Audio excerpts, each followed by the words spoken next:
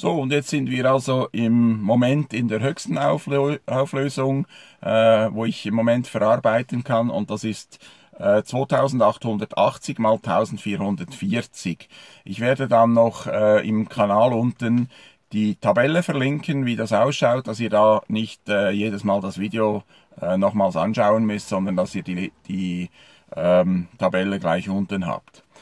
So, das war also mein kleiner Test für heute. Ich hoffe, wir sehen hm, gewisse Differenzen bei den Einstellungen. Was ihr beachten müsst beim, äh, beim YouTube-Kanal, unten gibt es so ein, ein Zahnrad und dort könnt ihr draufklicken und dann seht ihr auch die Einstellung, wie hoch das eingestellt ist.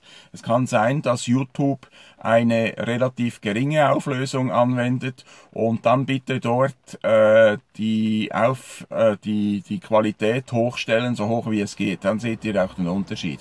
Und natürlich das Equipment, also euer Bildschirm etc. muss auch mitmachen und muss diese hohen Auflösungen auch zeigen können. In diesem Sinne einen schönen Abend und bis zu den nächsten Videos.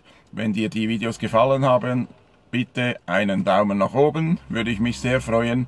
Ihr könnt auch gerne äh, Fragen und äh, Anregungen unten ins Kommentarfeld geben und ihr könnt auch bitte meinen Kanal abonnieren. In dem Sinne, gute Zeit, schönen Abend und bis zu den nächsten Videos. Tschüss!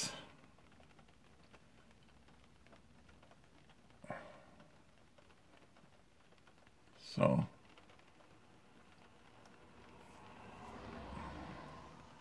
Und